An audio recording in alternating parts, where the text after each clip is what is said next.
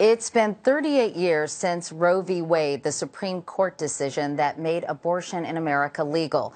This week, hundreds of thousands of abortion rights opponents marked the anniversary with a protest on the steps of the Supreme Court. Meanwhile, on Capitol Hill, House Republicans are pushing for new limits on abortion. A similar movement has already gained support in a lot of state capitals. Tonight, we put the shifting battle over abortion in focus. Dr. Kermit Gosnell is a West Philadelphia doctor who was never trained as an OBGYN, but in fact, prosecutors say he carried out illegal late term abortions. And did so for the last 20 years. Gosnell has been charged with killing seven babies after they were born alive and for the murder of one woman.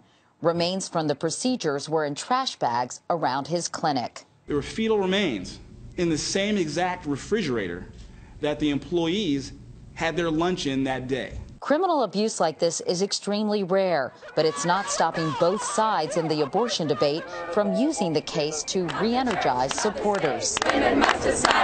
On the one hand, you have abortion rights advocates who say if you clamp down on abortion rights even further, you're going to have more doctors preying upon women because they won't have any other options out there. On the other side of the debate, you have anti abortion advocates who say, look, this is precisely why you need to limit abortions to prevent people like Dr. Gosnell from operating. The issue of abortion has taken a back seat in recent years, but aggressive state action to limit abortion and new leadership in Congress, like House Speaker John Boehner, have pushed abortion back into the public debate. A ban on taxpayer funding of abortions is the will of the people, and it ought to be the will of the land. It's one of our highest legislative priorities, and as such, I've directed that it receive the designation of H.R. 3.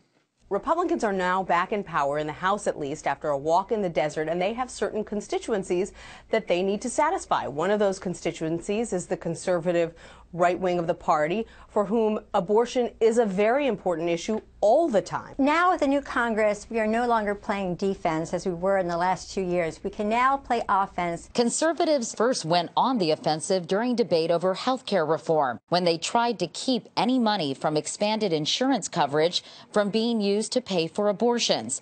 Opponents said existing law, in the form of the Hyde Amendment, already prohibited that.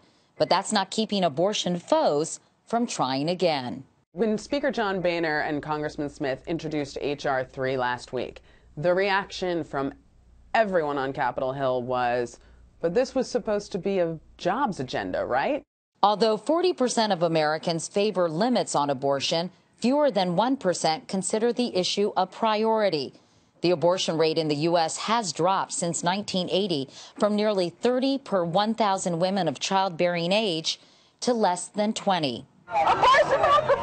Anti abortion activists view House Resolution 3 as a chance for victory on a national stage in a battle that's clearly escalated beyond Washington since the November elections.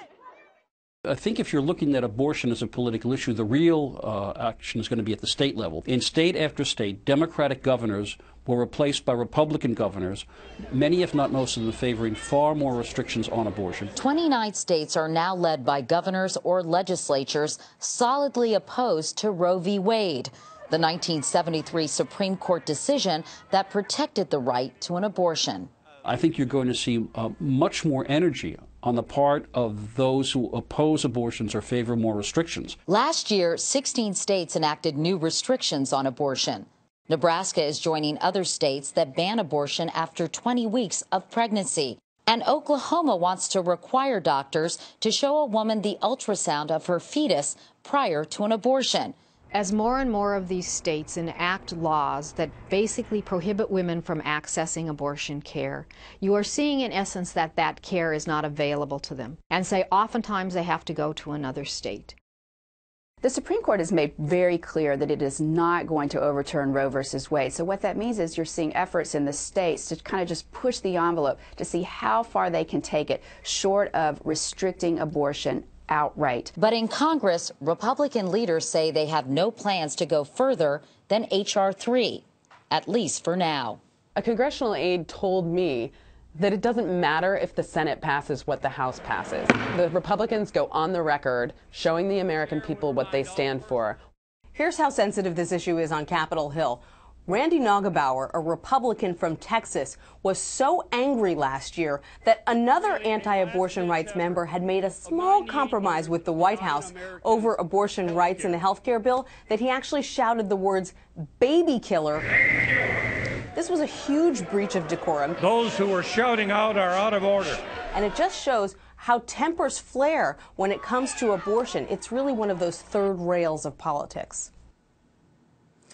The House will debate House Resolution 3 in the weeks ahead. If it passes, Democrats in the Senate are expected to try to table the legislation indefinitely.